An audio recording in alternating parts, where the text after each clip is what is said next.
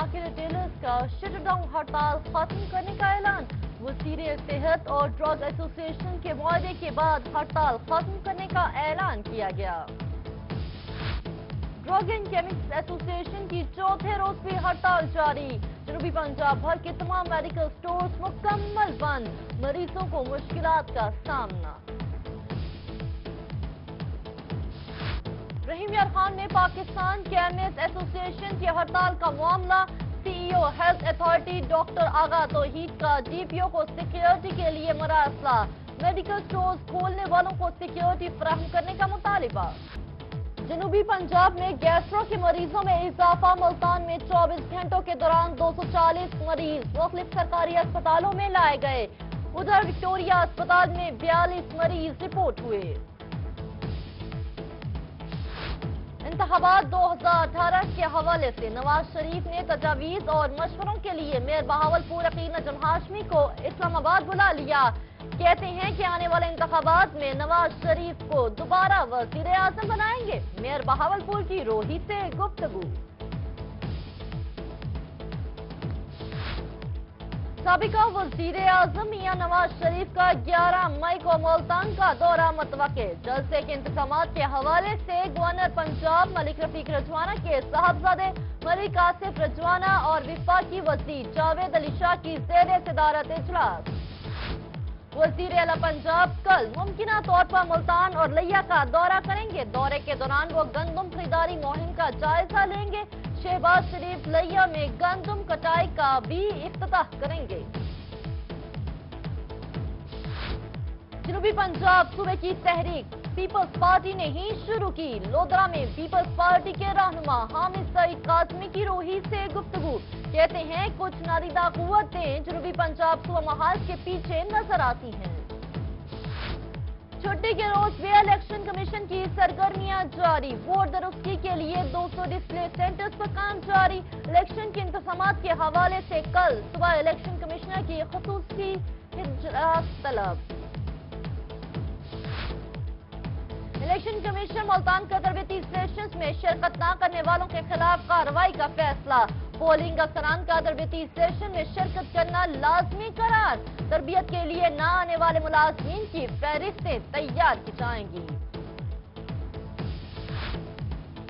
Budget دو ہزار اٹھارہ marriage house پر tax لگنے سے مالکان اور شہری پریشان۔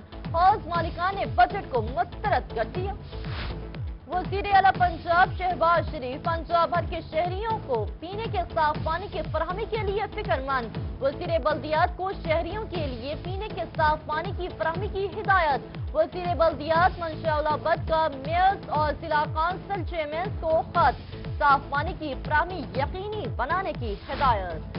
روڈ پکا میں ہیومینٹیز کا اجلاس۔ سی ایچ پی اسپتال میں ڈائلیسس اور آرو پلانٹ کی تنصیب کے لیے وارڈ اور جگہ مختص۔ منصوبے پر پندرہ لاکھ روپے کی لاگت آئے گی۔ لودرا شہر کے متعدد واٹر فلٹریشن پلانٹ خراب۔ فلٹریشن پلانٹ کے باہر گندگی کے ڈھیر۔ شہری صفائی کی اب تر صورتحال پر شیخ ہوا کوٹ اردو ایچ کے اسپتال سرور شہید میں پینے کا صاف پانی نیاب ہو گیا۔ صاف پانی کی فراہمی کے لیے بننے والا پانچ کروڑ پے کا منصوبہ کرپشن کی نظر۔ واٹر سپلائی اسکیم مکمل نہ ہونے سے مریضوں کو صاف پانی پینے میں مشکلات کا سامنا۔ صادق آباد بستی میاں صاحب کی عوام پانی نہ ملنے پر سراپا احتجاج بن گئی۔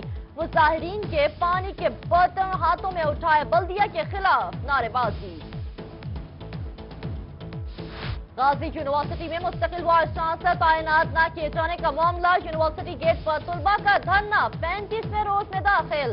طلبہ کا کہنا ہے کہ مستقل وائس شانسر کی تعیناتی تک دھرنا جاری رہے گا۔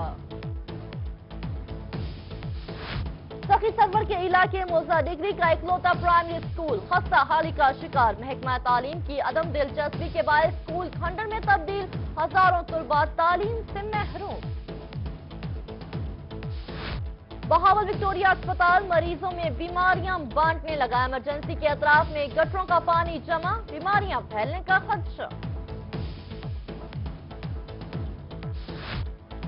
بہاول نگر کے نواحی علاقہ منیر آباد کی رہائشیوں کا انتظامیہ کے خلاف احتجاج۔ مظاہرین کا کہنا ہے کہ ہمیں صاف پانی اور گیس جیسی بنیادی سہولیات نہیں دی جا رہی۔ ہیں جہانیہ وارڈ نمبر ایک اور آٹھ میں صفائی کی ناقص صورتحال سیوریج کا نظام ناکارا گلیوں میں گندا پانی جمع ہونے لگا۔ شہریوں کا میونسپل کمیٹی کے خلاف احتجاج، صفائی کرانے کا مطالبہ۔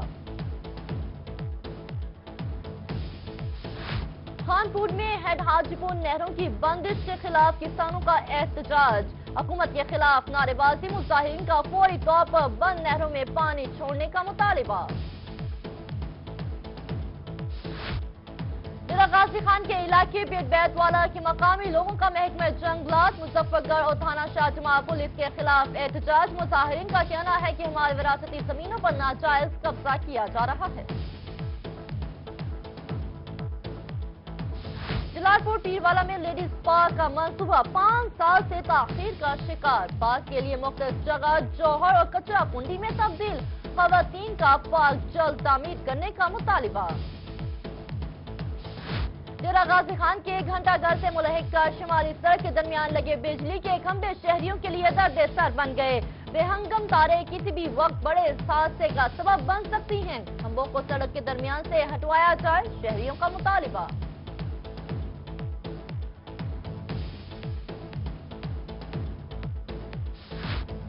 خانوال میں عاشقی محبوبہ کے بھائیوں کے ہاتھوں دھلائی۔ ملتان کا رہائشی نوجوان فرید محبوبہ سے ملنے آیا تو لڑکی کے بھائیوں نے منہ چوداری مونٹ دی۔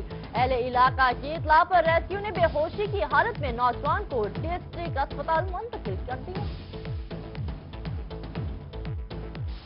ویسی کی ڈمکی نہر میں ایک عورت نے دو بچوں سمیت چھلانگ لگا دی خاتون اور ایک بچے کو نکال لیا گیا، جبکہ دوسرے بچے کی تلاش جاری۔ کبیروالا میں مخدوم پور روڈ پر کاٹن فیکٹری میں آتے زدگی لاکھوں روپے مالیت کی کپاس چل کر rough rescue. One one two two آگ بچانے میں مصروف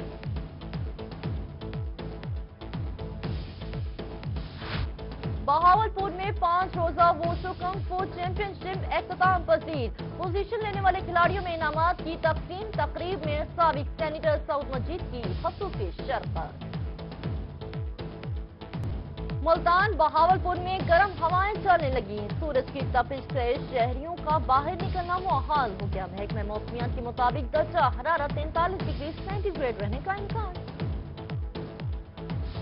گرمی کا پارا ہائی ہوتے ہی ٹھنڈے مشروبات کی مانگ میں بھی اضافہ ہونے لگا۔ بہاول پور کے شہری ستو پی کر گرمی کے احساس کو کم کرنے لگے۔ ادھر مظفر گڑھ میں گرمی کے ستائش شہری املی کے ٹھنڈے شربت سے لطف اندوز ہونے لگے۔